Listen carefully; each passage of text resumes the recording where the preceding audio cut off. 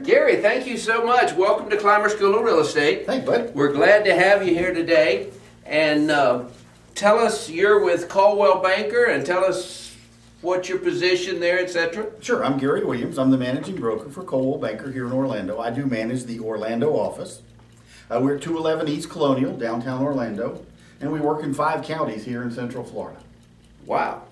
And y'all are the oldest company in existence. But as a large company, Coldwell Banker is large, well over 100 years old. You don't find a lot of those things happening in today's marketplace. Now, let me ask you this Is today a good time to start a career in real estate? Ron, thanks for asking me that question. I love that question because the answer is yes. The answer is there's a lot of people buying and selling real estate. It's just a different market than we've had in years gone by. And when you ask about people getting into real estate now, I say that that's really great because I love working with new agents because they don't have a preconceived idea of how they're supposed to do it. They'll listen to you, they'll do what you say, and in today's market, they can be very, very successful. People are buying, people are selling. And are y'all aggressively looking for new agents? I'm looking for new agents every day. As I said, I love working with new agents for one reason. They listen to me. They don't bring baggage with them. You know, they come, they come ready to work. Well, now, let me ask you this Has the internet changed real estate? Absolutely.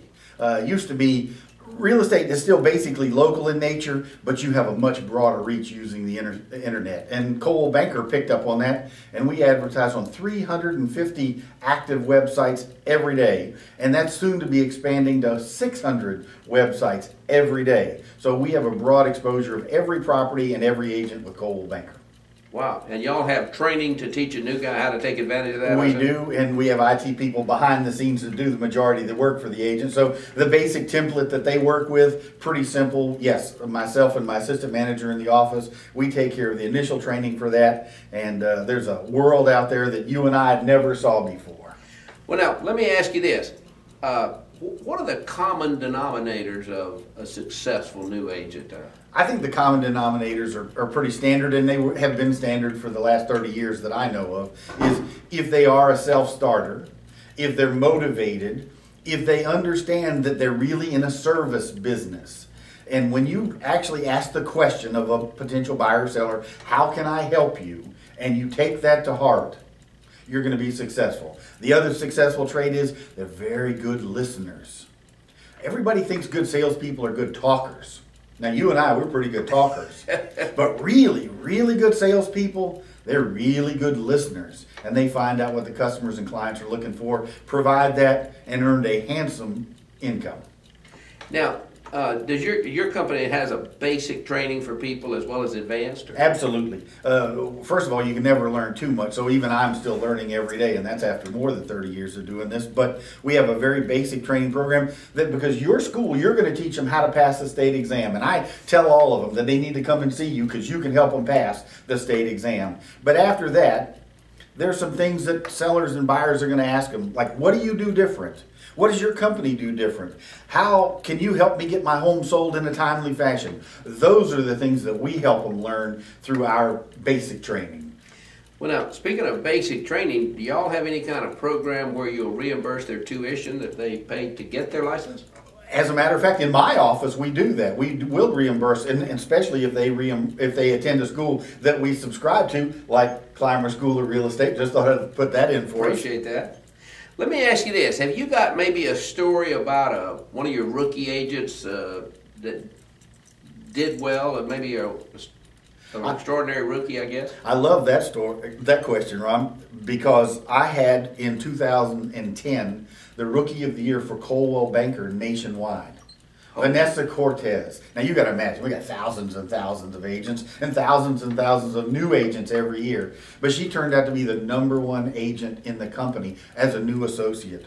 And she did it in our office by working her plan. And her plan was to get as much business as she could from all the top producers who got more business than they could say grace over. And they referred business to her, and she's a go getter. And she closed on all of that business.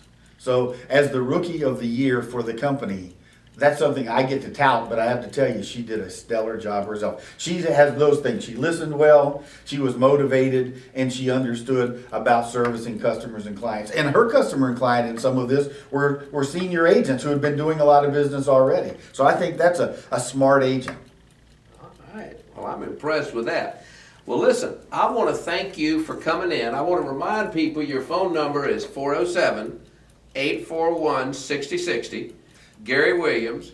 Been the same phone number for 30 years. And I have a gift for you. Actually, I've got two gifts for you.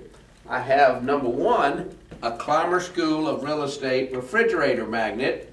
I want you to put that on your filing cabinet. Absolutely. And I also have a Climer School of Real Estate t-shirt for you. Now these are new, Gary. I've only been using these a while and this is not important to you. But since I've been passing those out in class, I haven't had a single student wear one of those to the exam and fail that I know of. Now, I love that. And that's probably a pretty good marketing idea. If you're thinking about getting into real estate, what would make you different than everybody else? I think this is a good idea. Thank you. Come over here. I have something else to show you.